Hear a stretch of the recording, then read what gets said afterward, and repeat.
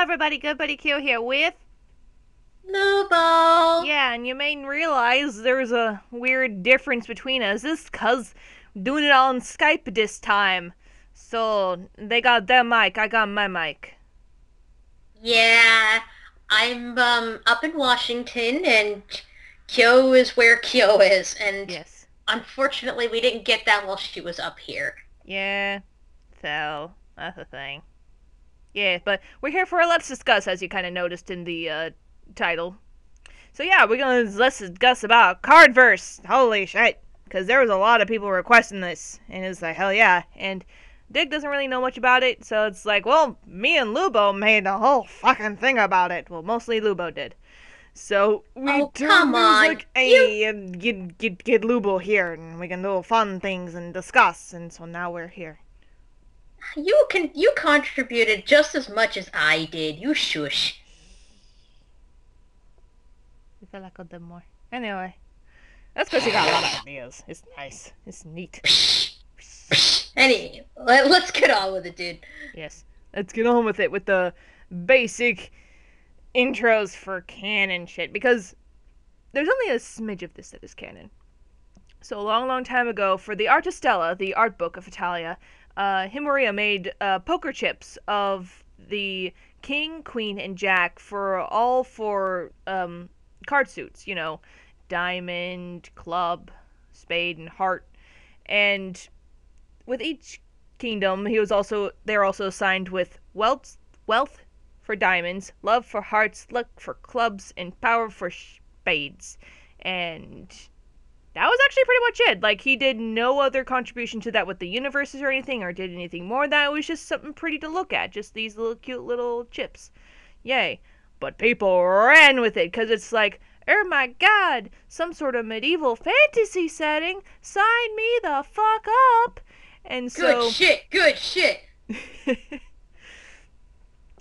but uh, this is just mostly our opinions about the uh, Cardverse universe, and you know, had ideas, had like in- historical influences, bit of fanon that was involved with the Cardverse AU, and again, our ideas. Like we like to think of it as a balance of like this universe is medieval based, yes, but we also think of it as f- both fairy tale, like you know all the magic and all the wacky magical hijinks, and politics, all Game of Thrones up in this shit.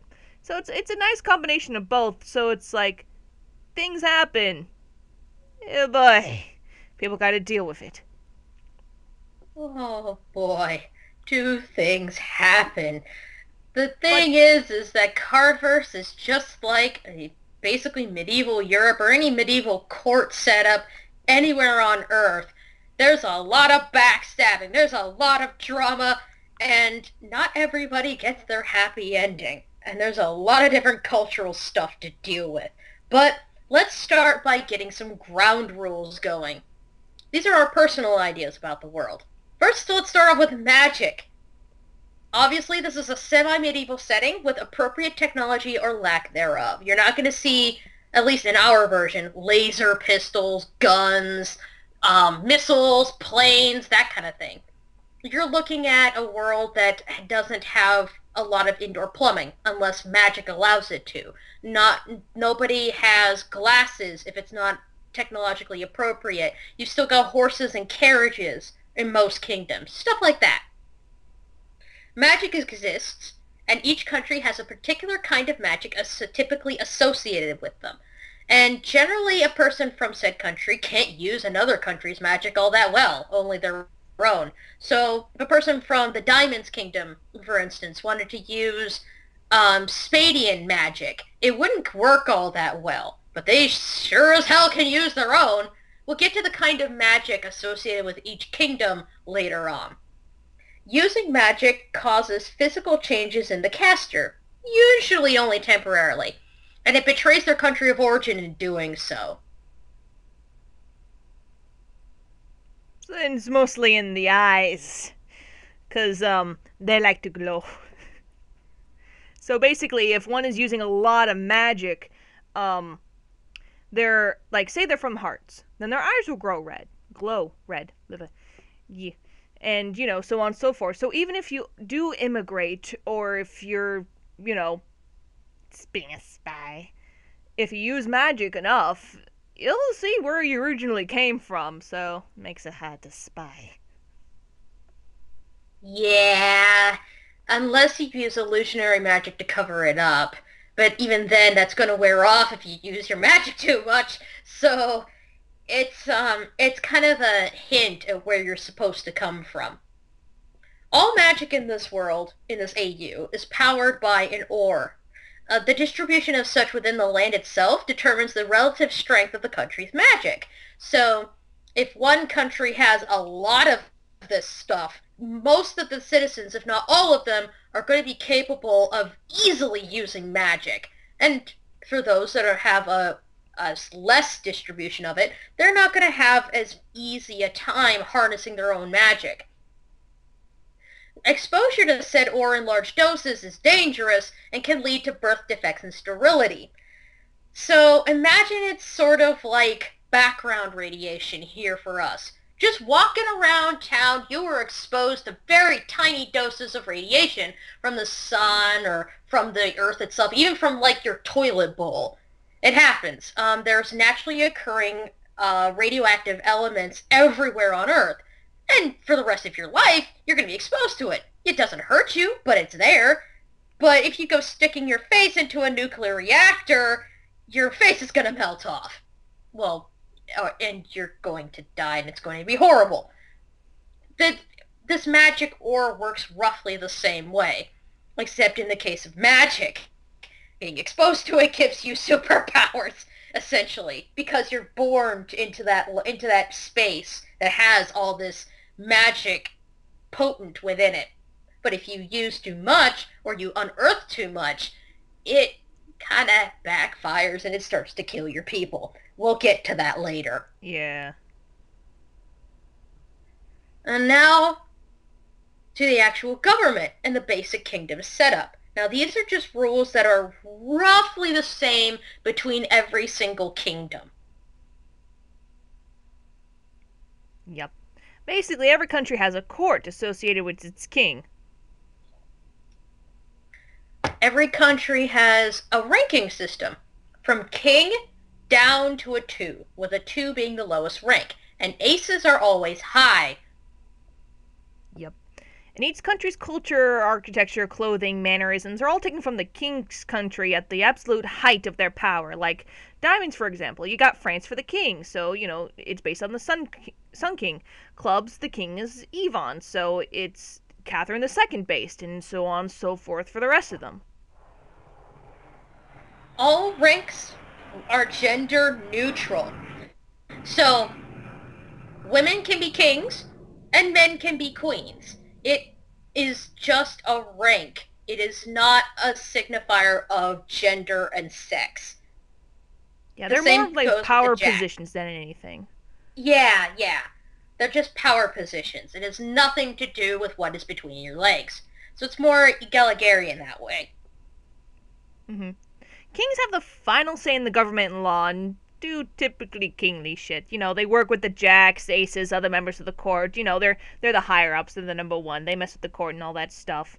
Though they there's other jobs for other court members too.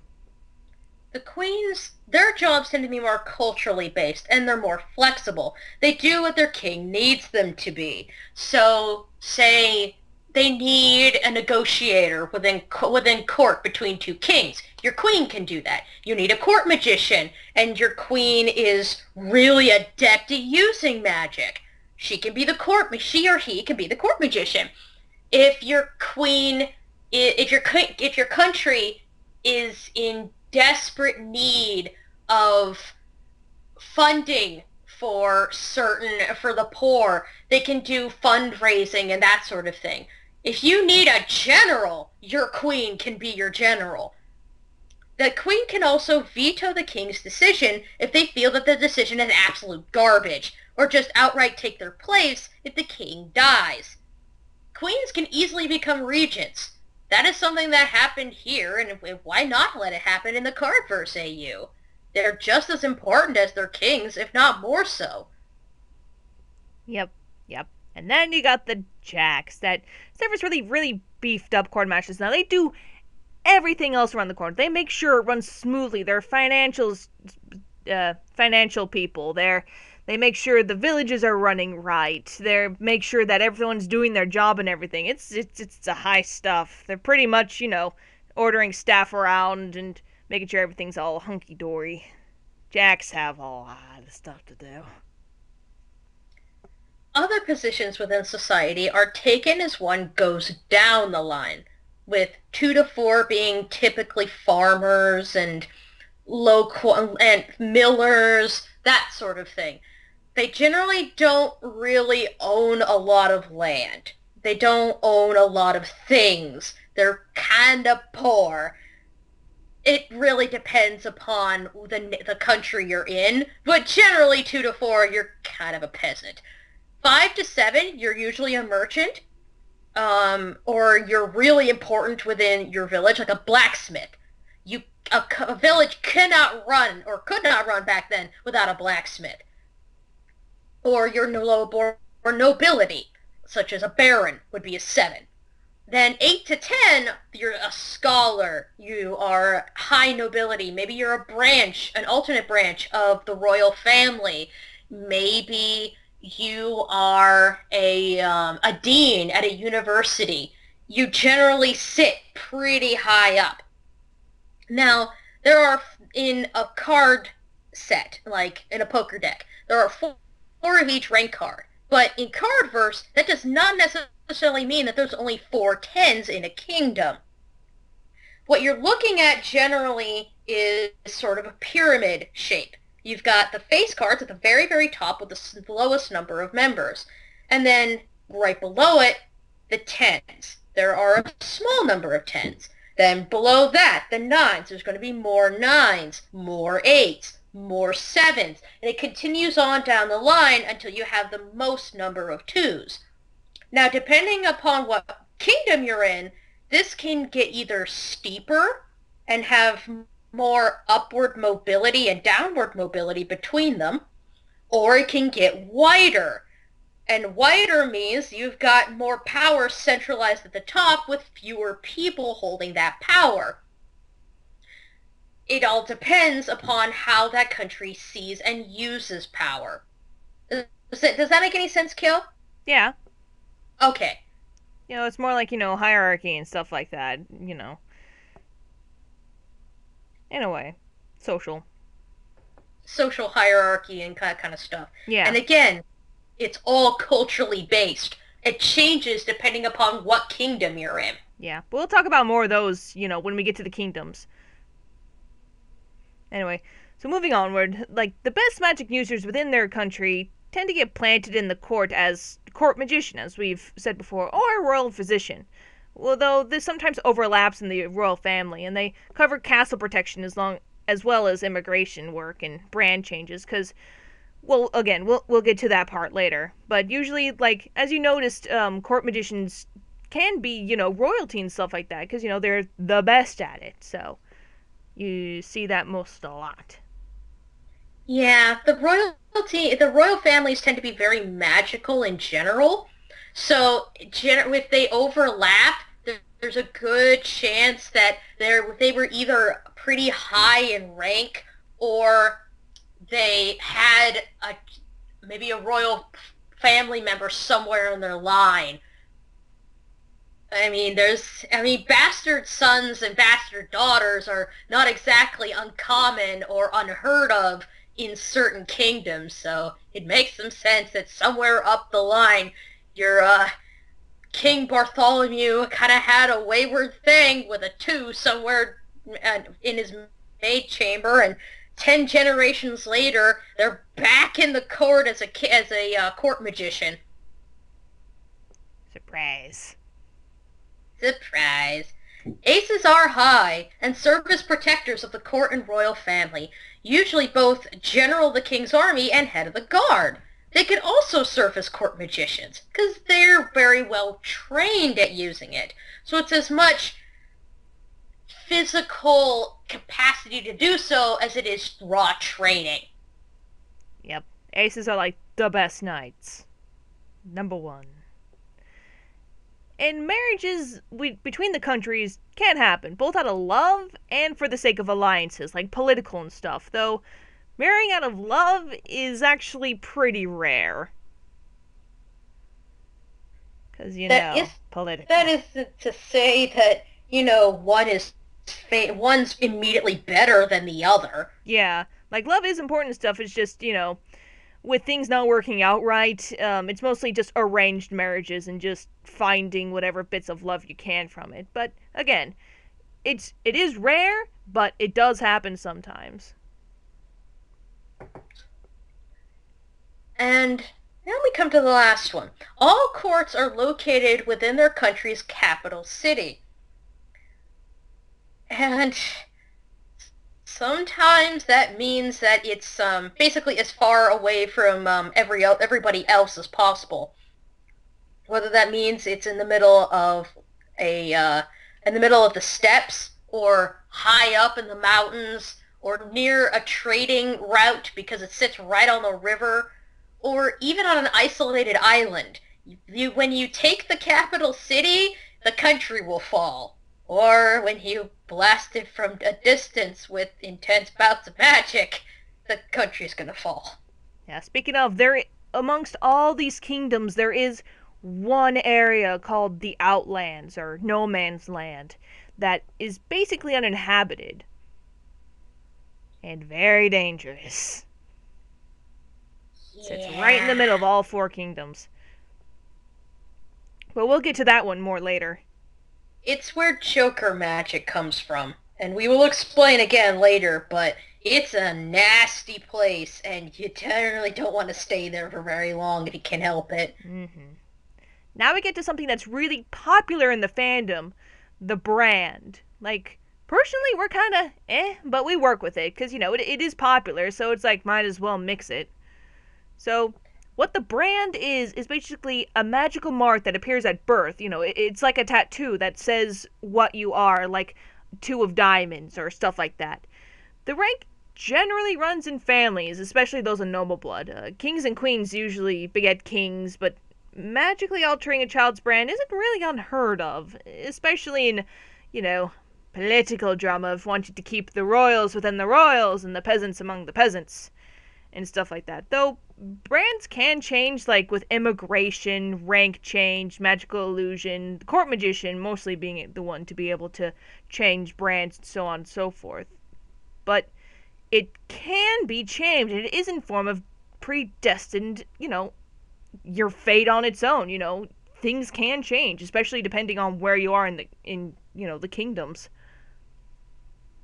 Yeah, that was something that when I was researching Cardverse, it came up a lot. The idea of predestination. If your mark said that you were going to be a king, you were going to be a king regardless of your station, which sounds very good and all, but what happens when a king's brand is found on a two, uh, or rather is born into a family of twos, a bunch of peasants?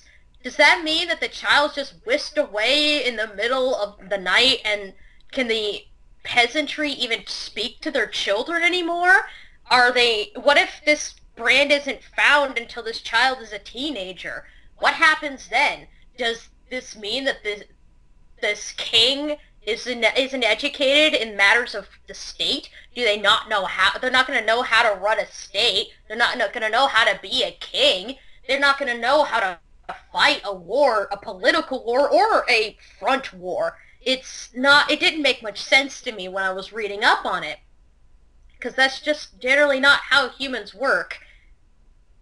But that's why we kind of altered it based on culture again. Every single kingdom sees it differently. And with each separate country's brand meaning something different to them. Some of them just don't care about it at all. Some of them treat it with absolute certainty. And then it's, yes, it is a form of predestination. And you were chosen to be a two, a dirt farming two. Or you were chosen to be a king. And you're never going to see your family again because you have to be taken away to get educated as soon as possible. Because otherwise we're going to have a weak king on the throne and someone's going to take advantage of it from another kingdom. It's all cultural, just like birthmarks are with us. There are some people out there who think that your birthmarks appear where you were killed in a past life, or your in the past birthmarks have been used to try people for witchcraft. It's now we know that they're just pieces of pigment, but depending upon where you were born and at what time period, it could literally mean your life and death. Yep. And lastly, we come to the markless. Markless people are people that are born without a brand, or whose countries were destroyed, and thus they lose their ties to the land. If they were born without a brand, they cannot use magic. Period. They have no connection to the land, and thus they can't use it. Now, for those whose countries were destroyed, they lose it gradually. Now, they can assume the brand of another country via immigration by going to either a court magician or the king, or even carve out a niche for themselves. That is something, for instance, that happened in clubs. King Olga, the first king, was the, a markless who decided, fuck this noise, I'm going to be king, and I'm going to unite all of these three branches and screw everybody else who says I can't and it kind of gave birth to their cultural view on the brand. We'll get to that later, though. Yep. Yep. Yep. That's basically it for how the world works in our, you know, little cardversy world. And so, next time we're going to talk about the kingdoms. All four of them the things you're probably all really excited to hear about. Yep. Everybody! Diamonds, the king of we- the kingdom of wealth. Hearts, the kingdom of love. Clubs, the kingdom of luck. And spades, the kingdom of power. Now, something we noticed around when we were doing research for this is that the other three kingdoms were generally ignored for spades. And we wanted to flesh them out just as much as Spades did. So you're going to get to hear all about them first. Yep. Because we know you all love to USUK and all, but nah. We got all the kingdoms. Everybody important. Everybody. Everybody is equally important. We're all in this together. Yep. But that's next time. Yes, so next time, kingdoms. So have a good day, everybody. Bye! Bye!